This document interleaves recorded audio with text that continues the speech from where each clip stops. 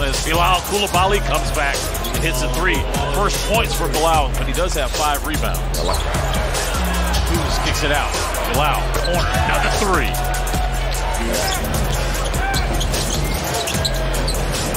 Thought about the three, decide to drive. Kicks it out to Deni. Deni straightaway three is good. 60 seconds to go before halftime live. Corner Kuz, yes sir. That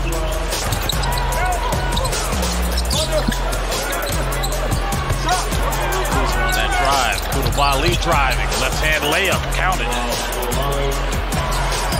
54 paint points, 18 bench points for the Celtics.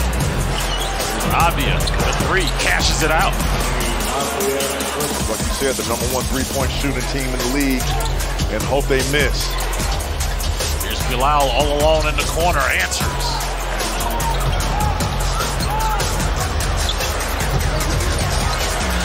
Coulibaly on a catch and shoot.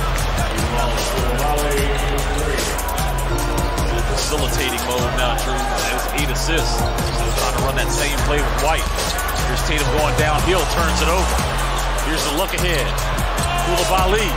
Dunks and it. one. And the foul. But watch what Bilal does. He comes down with it, then goes up, and that allows